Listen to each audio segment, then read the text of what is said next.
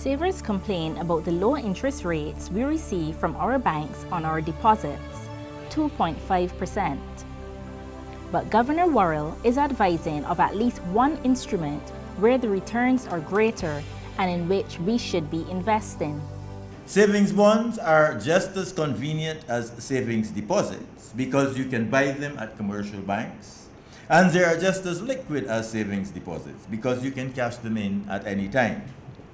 However, if you hold them for the full five years of their maturity, you earn an interest rate in the region of 5% compounded over five years.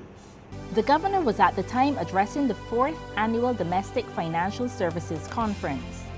This annual event, sponsored by the bank and the Financial Services Commission, brings together representatives of domestic banks, insurance companies, credit unions, and accounting firms. Attendees spend the day reflecting on developments in the sector locally and internationally, and on the implications for policy changes by regulators, as well as for the strategies for financial institutions. This year, participants were updated on the Financial Stability Report, presented by the Deputy Director of Research and Economic Analysis Department, Anton Belgrave. While we are facing an extremely adverse economic climate, which has raised delinquency rates across the board, the financial system remains stable and well capitalized.